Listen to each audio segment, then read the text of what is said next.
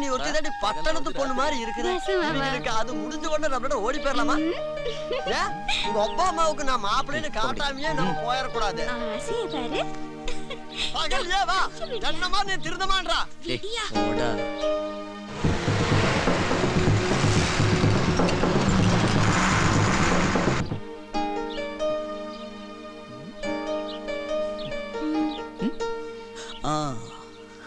அடைச்சிருவோம்.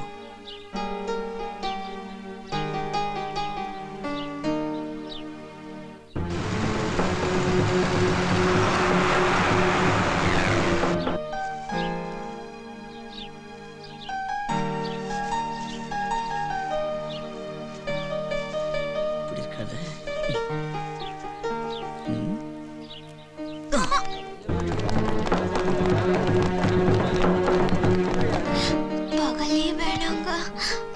ராத்திரி வரைக்கும் காத்துட்டு இருக்க முடியாது கீதா.